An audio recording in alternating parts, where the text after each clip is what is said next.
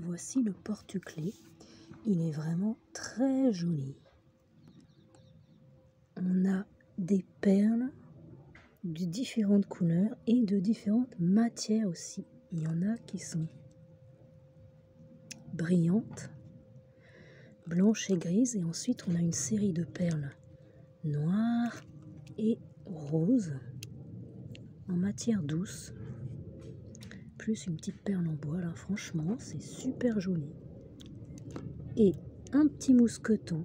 Ça, c'est pratique. Euh, par exemple, pour avoir à portée de main un, jeton de caddie, des fois, il faut un jeton. Hop, il suffit de ouvrir et on a accès tout de suite au jeton. C'est facile, pratique.